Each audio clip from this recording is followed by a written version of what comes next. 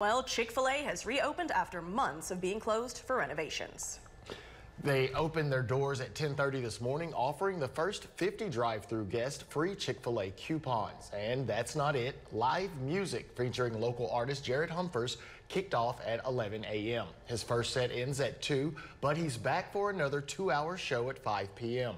Chick-fil-A's area business consultant explains how it feels to be back open. It feels good. It feels great. Um, we've planned for this moment for a long time since um, we've been closed for the reinvestment, so it feels real good to be back open. That we're going to be able to serve them in excellence and um, quickly in our new drive-through that we have, and hopefully it's going to be more efficient than the, um, the old drive-through that we used to have. Ferris also hopes that the customers have a new and better experience than they last than last time they came.